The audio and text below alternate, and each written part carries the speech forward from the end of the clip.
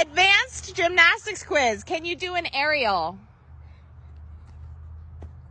Can you do a back walkover? Can you do a front walkover? How long can you hold a handstand? One, two, three, four, five, six, seven.